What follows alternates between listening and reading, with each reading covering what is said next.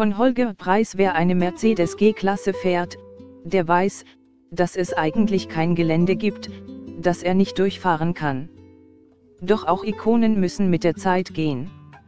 So auch das dicke G, dessen Neuauflage derzeit die letzten Abnahmefahrten auf dem Schirkleger hat.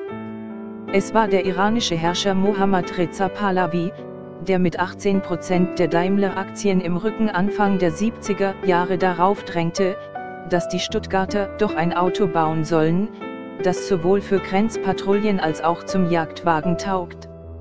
Unter der Maßgabe, dieses kommende Fahrzeug auch an die Bundeswehr verkaufen zu können, vereinbarte Mercedes 1972 mit dem österreichischen Hersteller Steyr Daimler Puch den Bau eines echten Geländekrachers. Den Zuschlag vom Bund erhielt man in Stuttgart am Ende dennoch nicht. Der ging seinerzeit an den wesentlich preiswerteren Iltis von VW. An den erinnert sich heute aber kaum noch jemand, während die Mercedes G-Klasse in 38 Jahren zu einer Ikone geworden ist. Und das betrifft aus heutiger Sicht nicht nur die kantige Optik, sondern auch die Offroad-Tauglichkeit.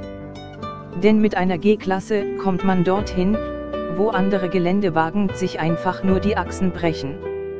Doch damit sie das kann, was andere nicht können, wird sie seit nunmehr 40 Jahren an einem ganz besonderen Ort auf die Prüfung gestellt, auf dem Schöckleger. Dem mit 1445 Metern bedeutendsten Gipfel im Grazer Land in Österreich.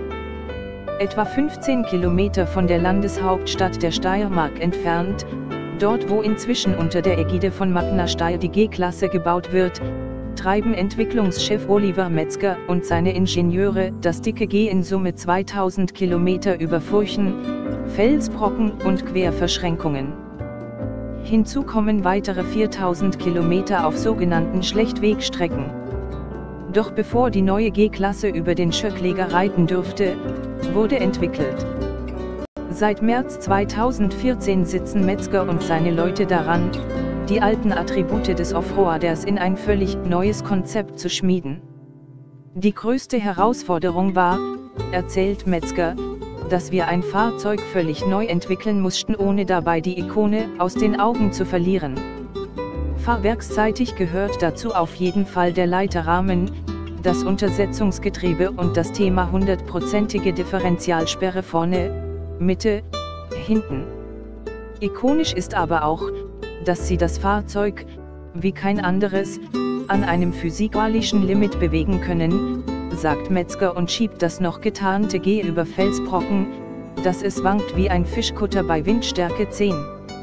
Noch während der Entwicklungschef über das zu erhaltene Komfortniveau referiert, packt der Autor reflexartig den neu designten Haltegriff an der Armatur. Aber tatsächlich wirkt der Überlauf trotz einer Seitenneigung von bis zu maximal 35 Grad angenehm leichtfüßig. Das mag zum einen an dem bekannten 4 Liter V8 liegen, der mit stolzen 422 PS und 610 Newtonmetern maximalem Drehmoment für reichlich Schub sorgt, zum anderen an der neuen Einzelradaufhängung an der Vorderachse, die zusammen mit AMG entwickelt wurde. Der Hauptgrund ist aber wohl die neue Verstelldämpfung, die in Zukunft optional in die G-Klasse gebucht werden kann.